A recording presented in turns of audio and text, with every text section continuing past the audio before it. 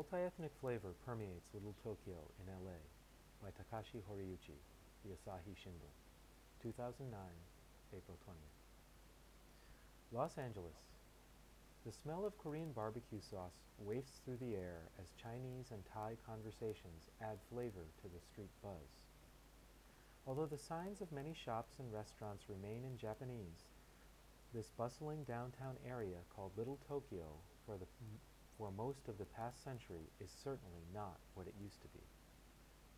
Little Tokyo, a strip of land 700 meters east-west and 500 meters north-south, has become more international, or rather multi-ethnic, multilingual, and multicultural. The town has seen a sharp rise in the Korean population in recent years, while young Japanese Americans are leaving the area. Symbolic of the town's ethnic crucible, today is a, is a food stall that opens on Thursdays, Thursday evenings near the Japanese American National Museum. Mark Manguera, a Filipino American, operates the stall that sells tacos with Korean style barbecued meat filling. Enticed by the sauce's sweet smell, people form a long line, many of them Filipinos, Thais, Koreans, and other Asian immigrants. Three tacos cost $5. On the streets, Chinese and Korean, among many other languages, can be heard with, uh, along with Japanese and English.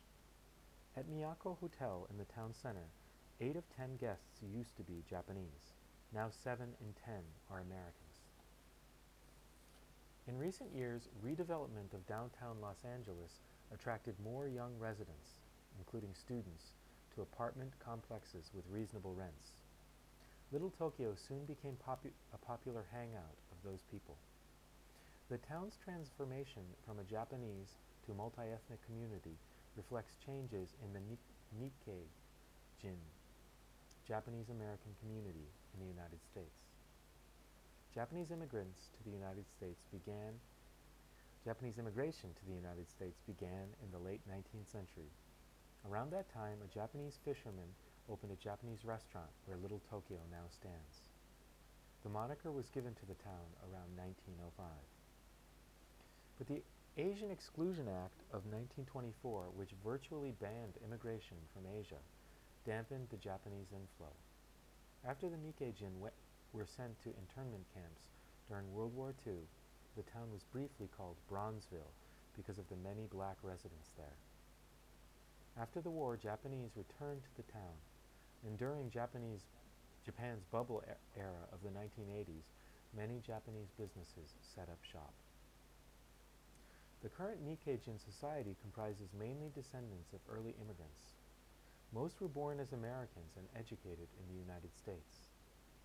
The younger Nikkei people do not need Little Tokyo, said Yukikazu Nakashima, who had long served as editor for the Japanese section of the Rafu Shimpo newspaper.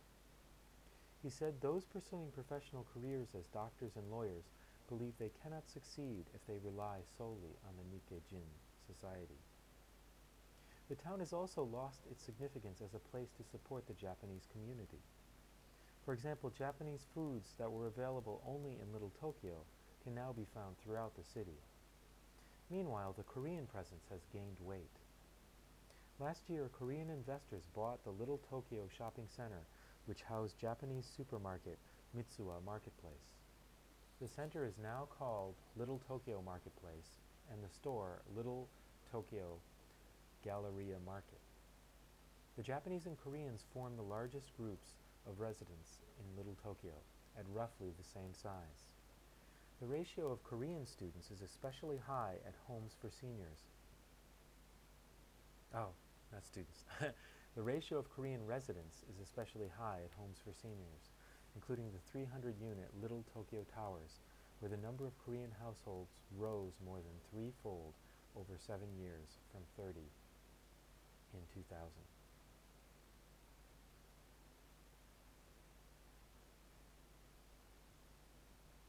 And 74 Koreans make up the largest group of people living at the 100-unit Miyako Gardens.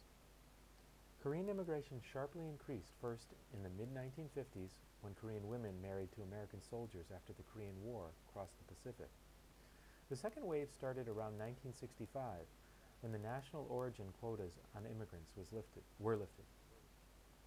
In the past decade, more than 16,000 Koreans obtained U.S. citizenship annually, compared with about 2,000 Japanese.